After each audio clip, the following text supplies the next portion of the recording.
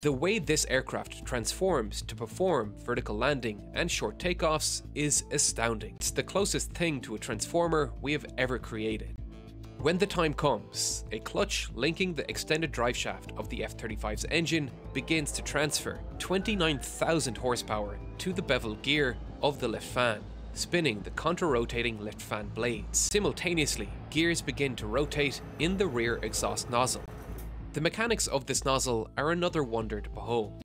Called the three-bearing swivel nozzle, it is composed of three airtight segments cut at angles relative to one another, we can change the shape of the nozzle by rotating these angled pieces separately.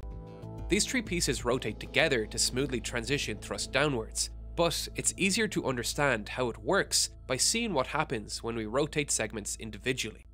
Rotating the central piece can take the nozzle from 0 degrees down to 45 degrees. This position is used for short takeoffs, splitting the engine's power between thrust and lift. This mode is as impressive as the vertical takeoffs, allowing the plane to operate from shorter amphibious assault ships like the USS Makin Island, a ship just 258 meters long. Watching the F-35 take off over such short distances is incredible.